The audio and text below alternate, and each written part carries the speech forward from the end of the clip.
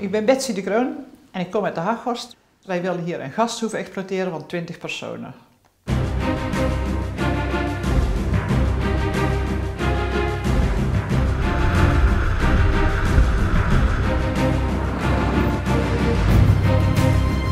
Mijn vraag is, welke rechtsvorm moeten wij aannemen voor het exploiteren van de gasthoeve?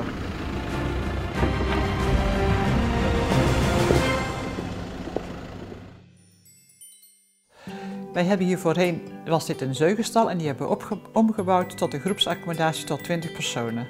Wij zochten daarnaast een, een nevenactiviteit dan om het, uh, om het rendabel te maken.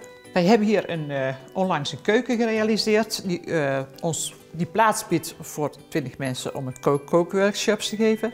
Wij hebben, bureau hadden wij in eerste instantie, wilden we het in drie kamers gewoon. En die werden dan vrij groot. Maar toen op een ander moment kwamen we weer aan een groep met verschillende thema's die een beetje uitgebuit zijn.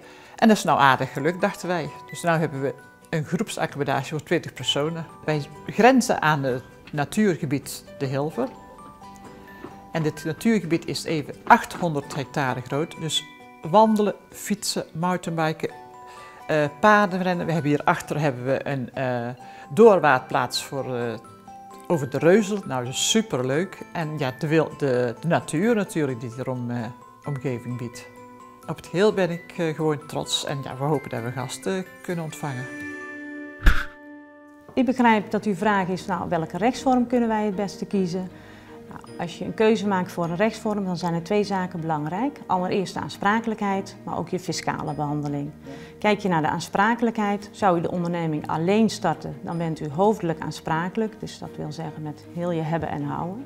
Zou u de onderneming onderbrengen onder de bestaande onderneming die u al heeft als varkenshouderij, dan, eh, ja, dan is die aansprakelijkheid dus hetzelfde als bij die varkenshouderij, hoofdelijk aansprakelijk. Zou je kiezen voor de besloten vennootschap, ja, dan ligt die aansprakelijkheid totaal anders. Kijken we naar het tweede aspect, de inkomstenbelasting. Nou, voor de eenmanszaak of voor de vennootschap onder firma heb je als ondernemer ja, speciale aftrekposten, mits je ondernemer bent in de zin van de inkomstenbelasting. Dan kun je aanspraak maken op zelfstandige aftrekken, misschien als starter, startersaftrek en de MKB-wensvrijstelling. Uh, deze accommodatie en de varkenshouderij zijn twee heel verschillende vakken. Kunnen die in dezelfde rechtsvorm onderbrengen? Ja hoor, je kunt die activiteiten onder dezelfde rechtsvorm uh, onderbrengen. En dat kan ook uh, bij dezelfde inschrijving van de Kamer van Koophandel. U kunt een formulier downloaden via de website van de Kamer van Koophandel. Geeft u aan dat u nieuwe activiteiten uitoefent onder een nieuwe handelsnaam. En dat wordt dan toegevoegd aan uw bestaande inschrijving. We gaan opzoeken wat voor ons de beste rechtsvorm is. En ik hoop dat we de eerste gast kunnen ontvangen.